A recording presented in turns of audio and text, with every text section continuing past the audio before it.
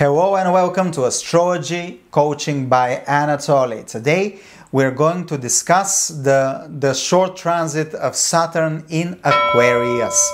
As you know, Saturn now is in Capricorn, but on 29th of April 2022 till 15th of July 2022, it will go in Aquarius, it will stay a little bit and it will go back retrograde again in Capricorn. And in January 2023, it will go for two years in Aquarius again.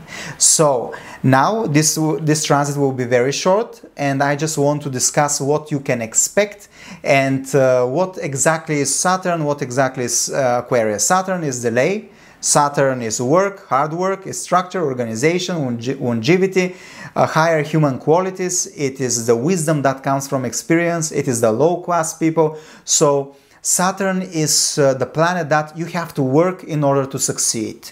What is Aquarius? Aquarius is new ideas, new life, technology, science, society, helping society, uh, think, thinking out of the box uh, new type of technologies. I think I didn't say that. Um, Aquarius is uh, the sign of big, big uh, organization, big circles, big networking, your dreams, your income. It is the natural 11th house. So Saturn is the ruler of Aquarius. So Saturn here, not, not only is the ruler of Aquarius, it is the uh, Aquarius is the Moolatrikona sign of Saturn, which means that Saturn feels very, very happy in Aquarius.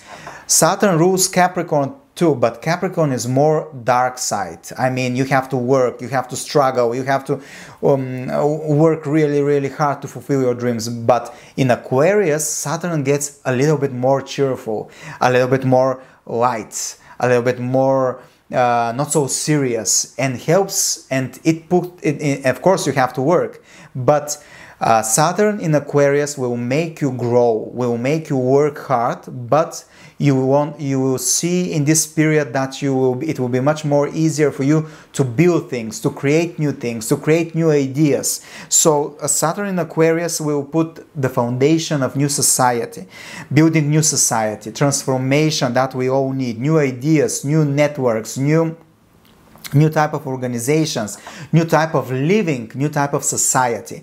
And we will see in Saturn in Aquarius the first few steps. We will start, we will put the foundation.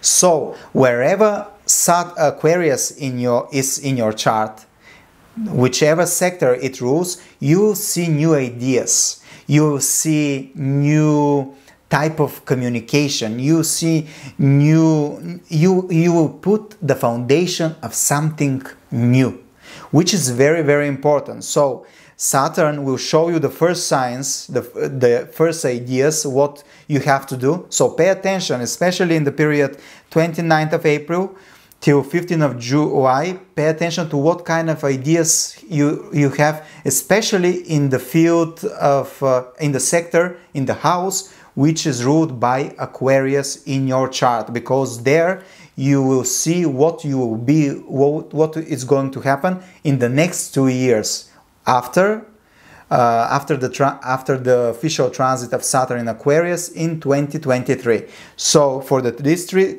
for the these three months you just see the first the first signs what to expect when Saturn goes in Aquarius in 2023 for longer time. For example, if um, your Aquarius is in the 10th house, this means that you can start building a new career, a new status in, in society. If um, Aquarius is in your 4th house, this means that you can build new home, you can create new home because Saturn will show you how to build it, how to put the foundation. Okay? I hope you liked the video and see you soon.